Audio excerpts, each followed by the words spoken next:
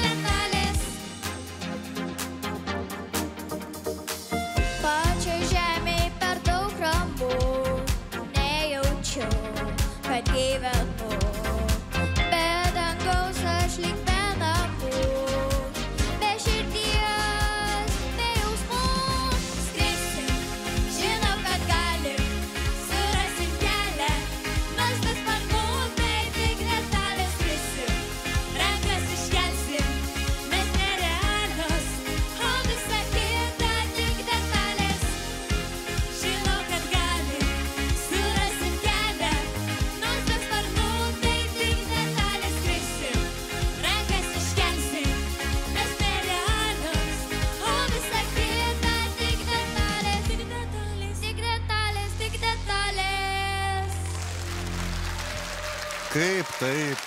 Kaip taip pasielgti? Šeškės, kaip Sveiki. Labą vakarą. Kai gerumo daina. Prisistatykit, kas jūs ir Aš esu gintarė. Aš esu Emilija. mama ir dukra. Mokytoja. Mokytoja ir dukra. Kaip gražu, kad kiek daug mokytojų ateina su savo mokiniais, kad jie juos padrasina į tą sceną. Tai yra nuostabu. Bet apskritai tas ryšys. Taip, tas- Turi tokį ryšį tarpusavio, nežinau, globos, supratimo, draugystės. Yra taip gražu.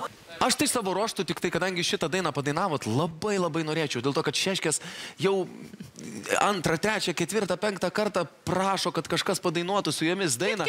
Kad taip, jos tai kartu su jumis ją padainuotų. Tai Va čia tai bus. Geras sintukas žiauriai.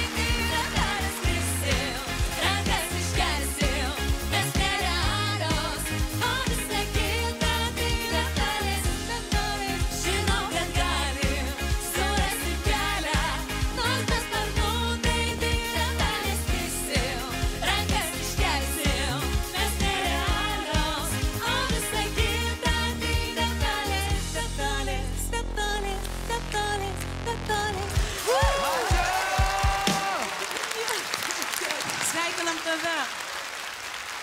Ačiū Jums, mergaitė. Ačiū Jums. Sveikinu. Ačiū.